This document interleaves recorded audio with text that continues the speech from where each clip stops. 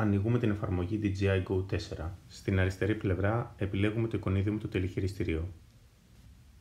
Στη συνέχεια επιλέγουμε Waypoints. Μέσα στο μενού Waypoints θα δούμε δύο βασικές λειτουργίες. Η πρώτη είναι το GPS στίγμα, εκεί που θα ορίσουμε τη θέση του drone. Το δεύτερο είναι το Point of Interest. Εκεί έχουμε απόλυτο έλεγχο του gimbal για το τι θα βλέπει το drone. Έχοντας προεπιλεγμένο το αστεράκι, το POI δηλαδή, μαρκάρω στο χάρτη το σημείο ενδιαφέροντος. Στη συνέχεια πατάω πάνω του για να μπω σε σχετικές ρυθμίσεις. Κάνοντας scroll πάνω ή κάτω στην οθόνη, ορίζω αντίστοιχα το ύψος του θέματος που θα βλέπει το gimbal. Αν η θέση του drone είναι στα 45 μέτρα ύψος και ορίσουμε σαν POI επίσης στα 45 μέτρα, τότε η κάμερα του gimbal θα βλέπει τον ορίζοντα. Πατάω OK για να σώσω τις ρυθμίσεις. Πατάω την πρώτη επιλογή για να ρυθμίσω στο GPS τη θέση του drone πάνω στο χάρτη. Στη συνέχεια ορίζω τη θέση απλά πατώντας πάνω στο χάρτη. Έπειτα πατάω πάνω στην επιλογή μου για να μπω σε σχετικές ρυθμίσεις. Κάνοντας scroll προς τα πάνω ορίζω το ύψος που θα βρεθεί το drone στο συγκεκριμένο waypoint. Σώζω την επιλογή πατώντας OK.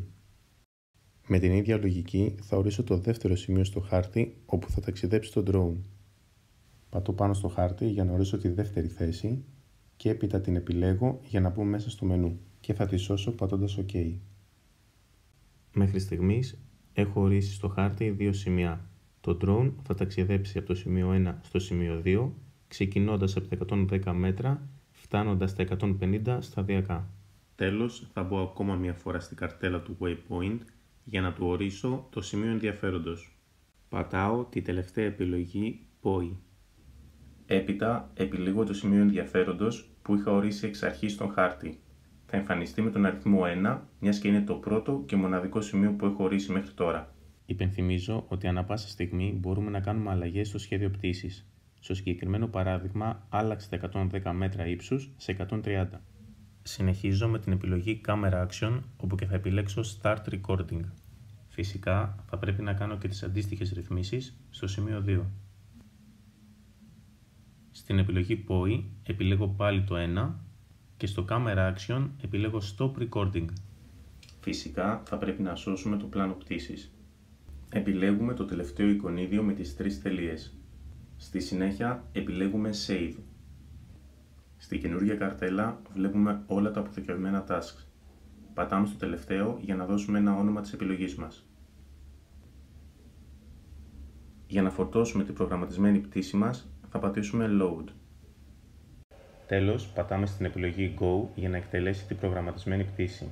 Στην καινούργια καρτέλα που θα εμφανιστεί μπορούμε να αλλάξουμε κάποιες ρυθμίσεις όσον αφορά την πτήση. Εδώ θα επικεντρωθώ μόνο σε δύο λειτουργίες.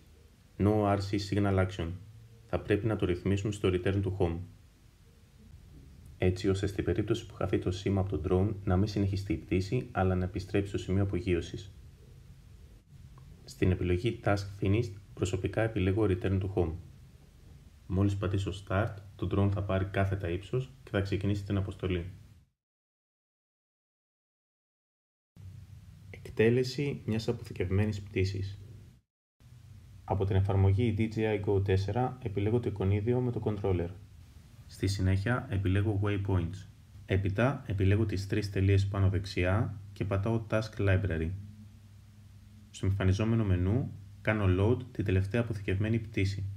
Εφόσον έχω κάνει το ίδιο task με το φως της ημέρας, τώρα είμαι έτοιμος να κάνω το ίδιο και σε συνθήκες νύχτας. Ορισμένες ρυθμίσεις που προσέχω στο βίντεο. Η εγγραφή γίνεται πάντα σε 4K. Κανένα βίντεο δεν είναι πανομοιότυπο. Το 4K θα μας βοηθήσει μετά στο editing να κάνουμε τα ανάλογα adjustments. Το shutter speed το θέλω διπλάσιο από τα frames per second, οπότε εδώ το φίλτρο είναι απαραίτητο. Μεγάλη προσοχή στο σημείο απογείωσης θα πρέπει να είναι πάντα το ίδιο. Το υψόμετρο μετριέται από το σημείο απογείωσης, όχι από κάποιο άλλο παράγοντα.